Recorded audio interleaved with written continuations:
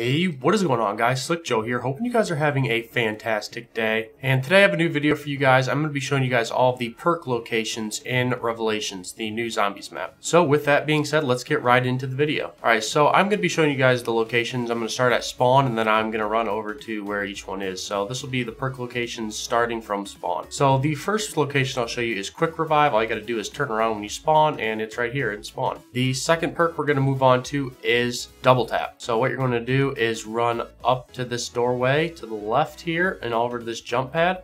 This will take you over to the origins area. Once you're here, you just want to run up this hill here and you'll come up to this generator and right here to the left is double tap. Now we're going to go straight to Mule Kick from here because it's in the same area. So just continue on up the way here and then you're going to go down into the Mob of the Dead area through Buried, the Mob of the Dead. Come down here and there'll be another door here to open. Just go through this doorway, and then Mule Kick will be right here. Alright, so now that we're back at spawn, the next one we're going to go to is Stamin-up. So you're going to go to the right this time through this doorway, and then onto this jump pad, and this will take you down to Shangri-La. All you gotta do is come around to the middle here, and stamina will be right here. And next we're gonna continue over to Widow's Wine, because it is in the somewhat same area. You're just going to run up these stairs here over into Der Eisendrache, come up through here, and then you'll take a right at the pyramid here, and there'll be another door to open through here and into Kino Toten up in the film room, and you'll see that Widow's Wine is right here. All right, back at spawn again, and we're going to head to Jug this time. So you just want to go straight this time up to the spire here and into the portal to Nacht. Once you get into Nacht, go up these stairs right away, and you'll see Jug is right at the top of them right here. Now we're going to continue